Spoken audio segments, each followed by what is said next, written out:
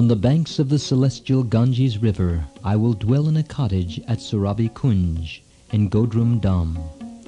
This land of Godrum is very conducive for performing devotional worship of the Supreme Lord, and is non-different from the sacred place called Nandagram, located in the holy district of Mathura. I will put on the garb that is dear to the devotees of Lord Gaurasundra, and wear the twelve Vaishnava tilak markings on my body, and beautiful beads of tulsi wood around my neck. Then, by planting flowering trees like champaka, bakula, kadamba, and tamala, I will make an extensive grove by my cottage.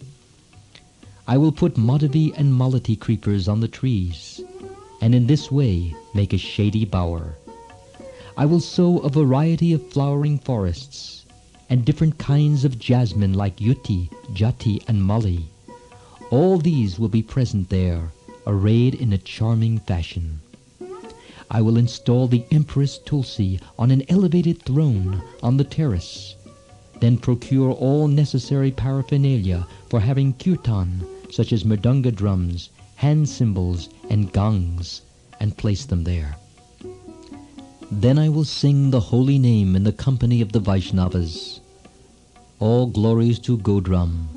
All glories to the divine abode of Lord Gaurachandra. Bhakti Vinod is favorably disposed to pure devotion. All glories to the blossoming Surabhi Kunj and the banks of the celestial Ganges.